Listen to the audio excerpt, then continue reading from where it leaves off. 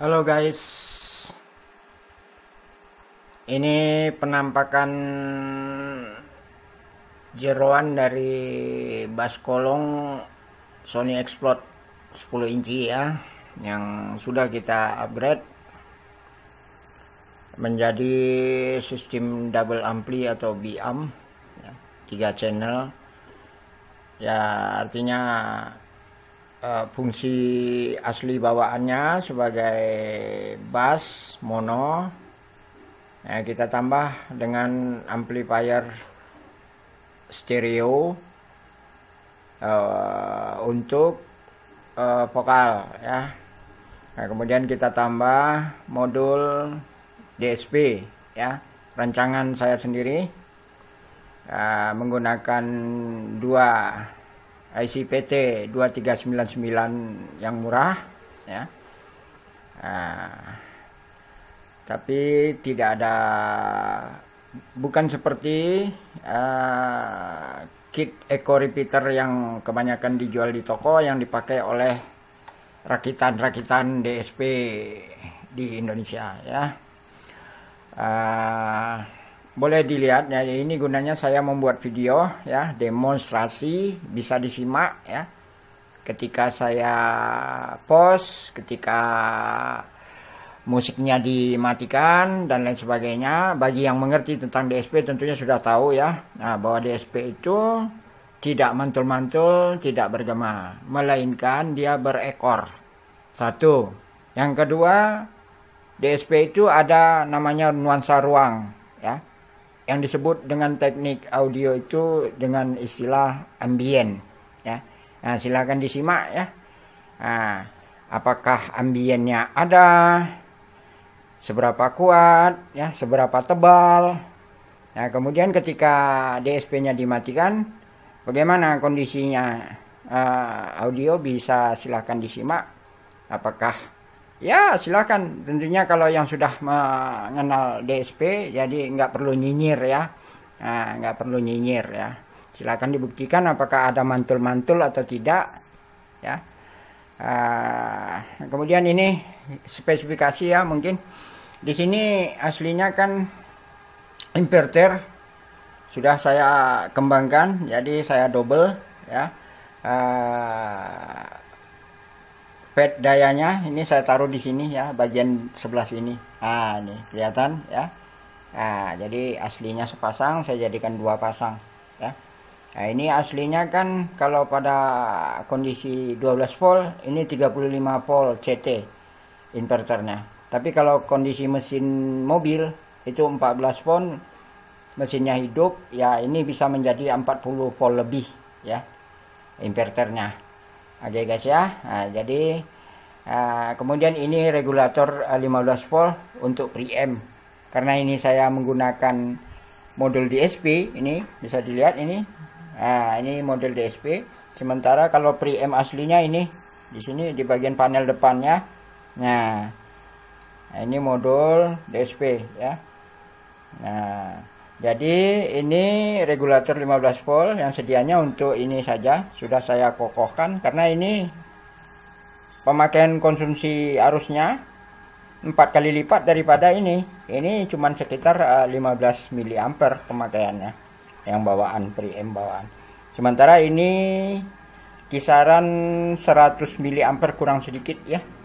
Nah, jadi ini sudah regulator sudah saya perkuat ya Nah, kemudian ini blok uh, uh, amplifier yang saya tambahkan.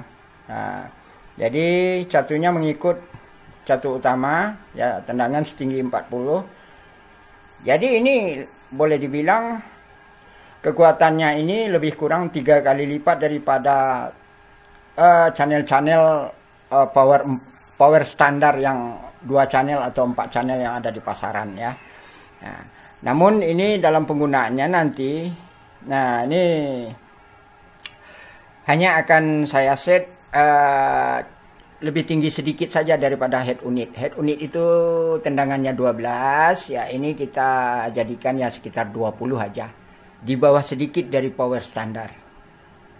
Nah, kalau power standar itu rata-rata tendangan 20 sampai 22 ya. Kalau ini bisa sampai 40 volt lebih tendangannya ya. Demikian juga dengan amplifier uh, untuk woofernya ya. Nah, di sini bisa dilihat ya. Uh, ada saya beri kipas. Mungkin bisa didengar bunyi dengingan. Nah, ini ini kecepatannya saya kurangi sedikit. Saya deretkan di sini tiga dioda 4148, tiga biji seri ya. Supaya ini agak berkurang Padahal ini satu adaptor yang saya gunakan ini 12 volt ya. Belum lagi 14 volt. Nah, tapi nanti kalau casing tutupnya, nah ini casing tutupnya kan ada itu ya aslinya itu nanti kalau dipakai tentu saya bunyinya akan teredam juga ya. Nah, ini bas kolong. Nah, Oke okay guys ya. Jadi sekarang kita tes. Uh, saya gunakan dari sumber ini bisa dilihat itu DFX nya ini uh, off ya. Nah ini program ada di dalam laptop saya ini ada program uh, eh, DSP sekalian juga dengan equalizer ya. Nah tapi sekarang kondisinya dinonaktifkan ya. Jadi plat player yang saya gunakan itu adalah gom gom lama klasik. Itu tanpa diganggu gugat ya jadi tanpa equalizer tanpa ini itu ya flat aja. Klasik. Nah, jadi uh, level yang saya gunakan itu sedemikian rupa cuman volume 30 aja dari gom ya. Uh, uh, nantinya hasilnya di sini sekitar uh, tenaga yang kita dengar ya yang kita demonstrasikan itu cuma sekitar seperempat ya seperempat dari tenaganya dia. Uh, nah kemudian di sini ini saya preteli kabelnya yang sudah rapi ya saya preteli agar bisa saya tambah. Ini ada switch switch untuk menguji ketika DSP nyala atau tidak nyala ya. ya ini posisinya sekarang belum saya tekan berarti DSP-nya mati ini bypass langsung dari input uh, eh, RCA langsung ke eh, dari apa namanya dari uh, ya benar. Jadi saya nyadap untuk DSP ini kan langsung dari input RCA bukan dari preamp-nya kalau preamp ini kan bekerja secara low ya jadi hasilnya itu bass. Nah, jadi yang saya kutip itu ini ada kelihatan nih kabel ya. Nah, ini dari inputnya langsung input RCA ya. Ini kabel RCA langsung ke laptop ya. Nah bisa dilihat ya. Nah jadi ini ada switch posisi off ya Nah, jadi kita coba sekarang dalam posisi off. Sementara di sini speaker yang saya gunakan simulasi seakan di dalam mobil ya, kaca pilar atau di pintu ya. Nah, ini ada speaker dekat saya. Ya, telanjang nggak pakai box ya. Saya tempel di atas box. Kemudian ada tweeter dome ya. Ya, ini berapa ya? Empat eh, setengah inci ya ukurannya. Nah, empat setengah inci dan kemudian sini sebelah kiri juga ada itu empat setengah inci kemudian ada itu Twitter dome juga ya. Nah, jadi di sini saya beri switch ya. Bisa kita dengar nanti kita coba lagu. Nah, di saya menggunakan satu channel ini kan yang subwoofer ini kabelnya. Terus ke sana ke belakang meja itu ada subwoofer saya gunakan satu coil 4 ohm Nah, biasanya saya pakai uh, paralel 2 jadi 2 ohm untuk B amplifier yang pemakaian pribadi saya itu atau demo-demo karaoke ya, itu saya gunakan. Nah, sekarang saya, kita gunakan 4 ohm saja karena memang ini saya set saya rancang untuk 4 ohm ya. 4 ohm beban 4 ohm 4 ohm 4 ohm ya. Oke ya ini kabel keluaran dari sini ada tiga pasang. Satunya untuk subwoofer ya. Nah ini satu lagi untuk ke box ini kanan ya vokal. Nah ini vokal kiri ya. Nah di sini ada switch ya untuk menyala mematikan. Sekarang yang connect langsung kita coba ya. Itu bunyinya geluduk-geluduk aja ya. Itu bass ya. Nah jadi uh, kita coba ya. Nah, ini sudah saya siapkan beberapa lagu ya. Nah, nanti ini satu demi satu saya matikan ya, saya ulangi lagi. Tapi tanpa pembukaan lagi tanpa muka dimah dan lain sebagainya. Ya oke okay guys ya. Kita coba ini lagu DJ Dirmantan ya.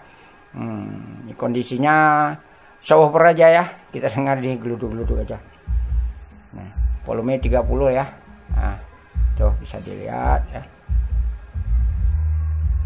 30 Nah oke okay. sekarang saya nyalakan speaker kiri ya. Nih ini switchnya. Nah, saya nyalakan speaker kanan ya.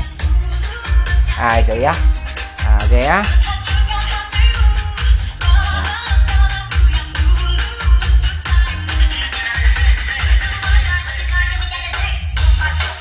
Ini kondisi DSP belum dinyalakan. Dia sudah nyala tapi sinyalnya nggak ada proses bypass ini sekarang ya. Sekarang sinyal saya masukkan ke DSP apabila switch ditekan ya. Itu berarti nanti melalui proses DSP bisa didengar bunyinya ya. Bentar lagi.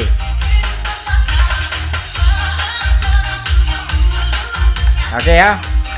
Kita nyalakan ya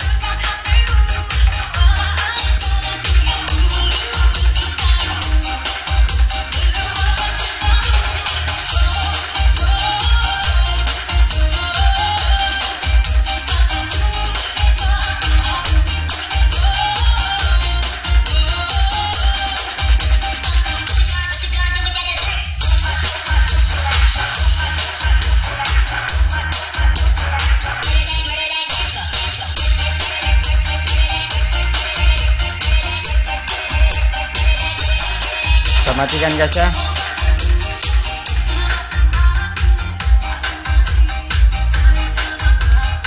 Kita nyalakan lagi. Sekarang saya post di laptop. Nah bisa didengar?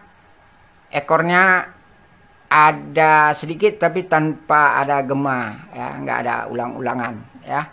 Nah oke okay guys ya uh, mungkin cukup sekian. Nanti video selanjutnya saya lanjutkan lagu berikut ya. Karena kalau saya terus di sini ya itu durasinya akan panjang sekali. Dan kemudian kalau ada yang dicekal oleh YouTube atau oleh Facebook nanti kan sayang eh yang mana jadi saya edit edit apa namanya eh, edit edit apa, uh, videonya yang udah diunggah kan sayang rusak-rusak nanti atau malah hilang. Ya oke okay guys ya